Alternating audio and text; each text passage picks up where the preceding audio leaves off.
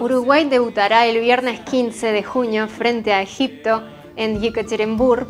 Luego el día 20 lo hará frente a Arabia Saudita y el 25 de junio tendrá a Rusia de rival, con el riesgo que significa enfrentar al local.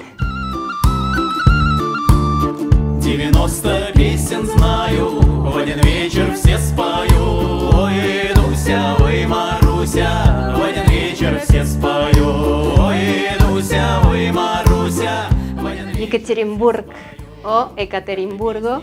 Ekaterimburgo. Sí, así es más fácil.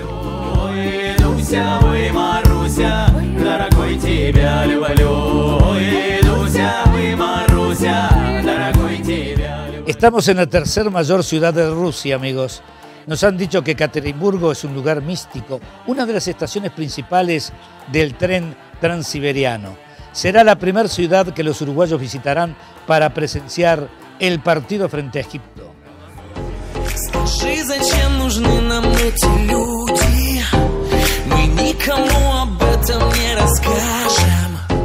Con una población de 1.400.000 habitantes, su creación se remonta al siglo XVIII.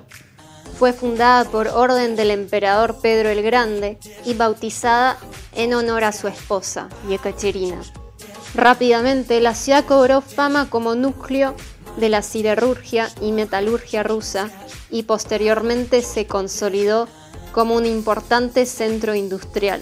Más tarde, la ciudad sería el lugar de un importante hecho histórico del país, el último hogar de los Romanov.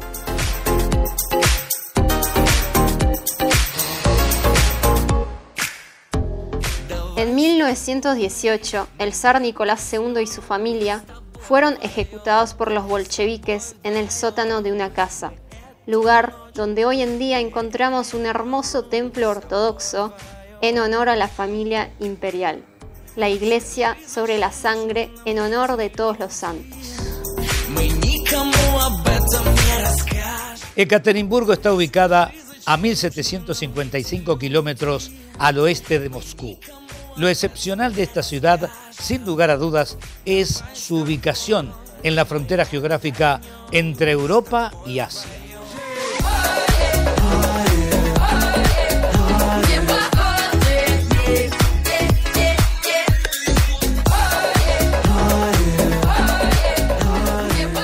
Maya, si habrán curiosidades en tu país, en alusión a esta frontera, la ciudad construyó un monumento que llama la atención a todos los visitantes. ¿Cuál es? Se trata de un monumento que con una línea marcada nos permite poner un pie en el continente europeo y el otro en el asiático, pero sin salir de Rusia.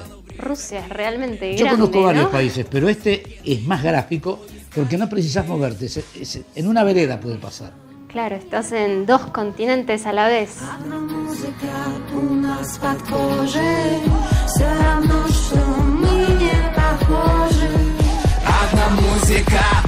нас под Я победитель только на нига-нига негатива фотоснимки Мои волосы словно пружинки Но зато я взрываю танцпол Si paseamos por el centro histórico, inmediatamente salta a la vista una línea roja pintada en el suelo. Esta línea marca un circuito por los puntos históricos y culturales más interesantes de la ciudad. Fue pintada de color rojo para que se vea bien y a propósito porque llegaba el mundial. Para También. que nadie tenga motivo y se pierda, para que todo el mundo encuentre cada lugar. Es que esa línea roja indica una ruta muy importante, es la suma de cantidad de museos y monumentos. Exactamente.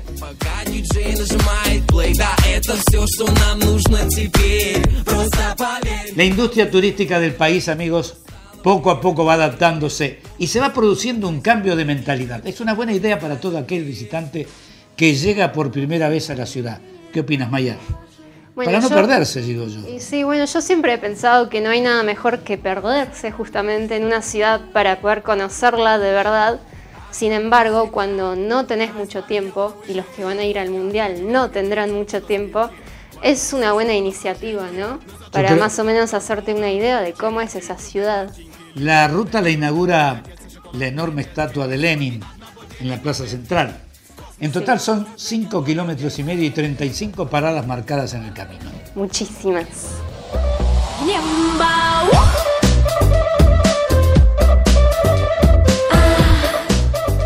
Es una ciudad que destaca la cantidad de museos. Más de 50 museos, como dije anteriormente, pueden encontrarse aquí en Ekaterimburgo.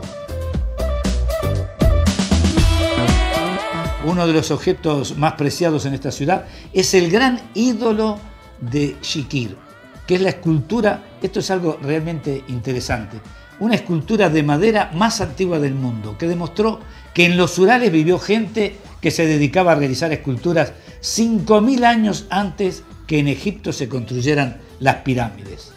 En el Museo de Historia, por ejemplo, de Caterimburgo, hay objetos que se han hallado en los alrededores que datan del año 8000 antes de Cristo.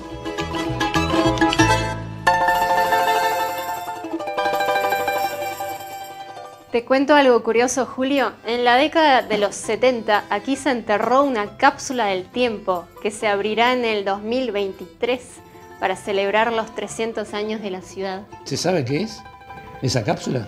Y se sabrá en el 2023. Es un tipo cohete, será un lanzamiento.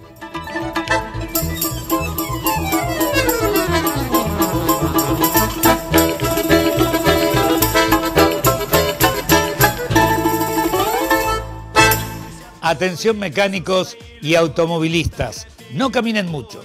Todos los repuestos que necesita están en Autorepuestos Lucho. Por algo Lucho es multimarca, tiene todos los repuestos y lubricantes para todas las marcas. Valle y Ordóñez, esquina Magenta. Como Lucho, le aseguro, no hay otro igual. En más allá del fútbol no podemos desconocer la cantidad de muy buenos dominadores de la pelota en el fútbol en este caso hombres y mujeres por igual, muestran sus habilidades incluyendo la gente mayor. Y yo digo que el fanatismo por el deporte rey se contagia por todo el mundo y por igual. Si no vean esta imagen capturada de una calle en Irlanda, donde un policía uniformado se divierte con una monja, a quien sus hábitos no le molestan para nada para demostrar su dominio con la pelota.